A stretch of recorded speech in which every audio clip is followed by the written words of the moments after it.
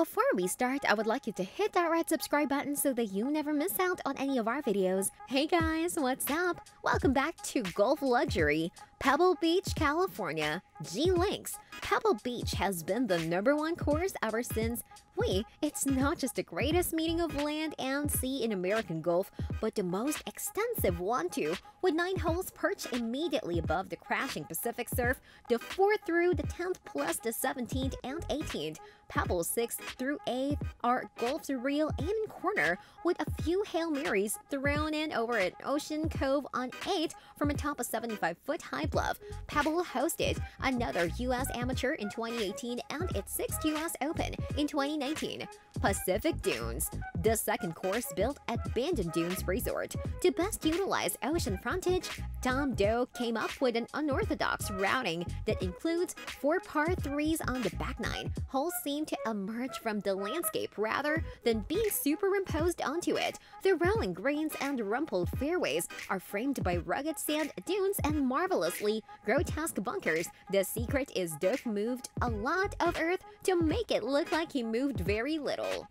Whistling Straits Pete Dye transformed a dead-flat abandoned Army airbase along with a two-mile stretch of Lake Michigan into an imitation Ballybunion at Whistling Straits, peppering his rugged fairways and windswept greens with 1,012 at last count bunkers.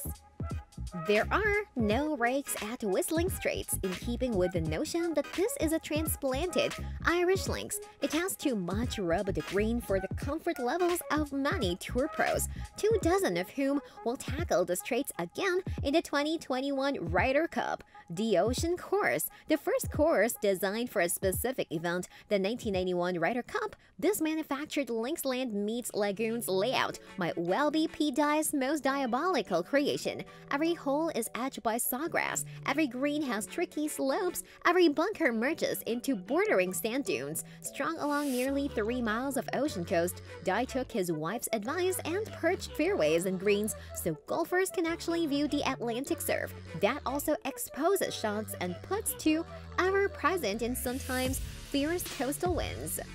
Shadow Creek one of a kind and maybe Tom Fazio's finest work ever. Shadow Creek plays like a musical composition in three movements, with alternating heavy beats and light moments, building to a resounding crescendo. Every golfer should experience Shadow Creek at least once. You remember Shadow Creek started out as a private course. It was Golf Digest's best new private course of 1990. Pinehurst Resort in 2010, Bill Coore and Ben Crenshaw led a team that descended on Pinehurst number 2 and killed out all the Bermuda grass rough that had been foolishly planted in the 1970s. Between fairways and tree lines, they established vast bands of native, hardpan sand dotted with clumps of wiregrass and scattered pine needles. They reduced the irrigation to mere single rows in fairways to prevent grass from ever returning to the new sandy wastelands. Playing firm and fast, it was a wildly successful fortnight when the 2014 men's and women's US Opens were played on consecutive weeks at number 2. Because of its water reduction, the course was recently awarded a Green Star Environmental Award by Golf Digest. It will host the 2014 US Open. Bandon Ore Dunes maybe not as visually mesmerizing as Whistling Straits, which it beat for Best New Upscale Public Course of 1999, but talented golfers consider Bandon Dunes to be the consummate shot maker scores, as good at total examination of one's game as there is in America. What's more is that the holes are a more natural fit into the windswept terrain than the mammoth mounted Straits course, Bandon Dunes is also ranked 6th among our 50 most fun public courses. Bethpage State Park Black. Gone are its rock-hard trees, gravely bunkers, patchy fairways, and patchy greens.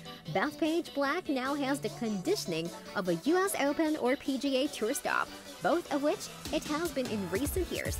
No need to sleep in the parking lot just to get a tee time anymore. Just go online. But you may still have to verify your handicap as a sign on the first tee states, Bethpage Black is an extremely difficult course recommended only for highly skilled players. The Black will host its first Ryder Cup in 2025. Erin Hills GCSE. Despite the legend spread by many, Erin Hills wasn't designed specifically to host a US Open. Its original concept was to be simple, affordable, lay off the land layout that proved Mother Nature is indeed the best golf architect. The concept changed. Some greens moved, one blind par 3 eliminated, as the quest for a US Open grew. After trial rounds hosting the 2008 US Women's, Publinks, and the 2011 US Amateur, Erin Hills hosted the 2017 US Open, the first time the event was played in Wisconsin. Spyglass Hill CSE given the task of designing a course just up 17-mile drive from Pebble Beach and Cypress Point, Robert Trent Jones responded with a combination of Pine Valley and Augusta National. The five opening holes in Pine Valley, like sand dunes, are an all-too-brief encounter with the Pacific Sea coast. The remaining holes are a stern hike through hills covered with majestic Monterey pines, which, sad to say, may someday disappear to pitch canker, but are being replaced in some areas with cypress trees and several water hazards that harken back to the 16th at Augusta, a hole which Trent Jones designed by the way. And you have what some panelists consider to be Trent's finest work. Others say it's the best course never to have hosted a major event. After all, even Pine Valley and Cypress Point have hosted Walker Cups. This brings us to the end of our video. I hope you enjoyed it. Hit like if you did and don't forget to subscribe to our channel so that you don't miss any of our videos in the future. Also, watch the two videos that are on your screen because I'm sure you love them. With that, I'll see you in the next video.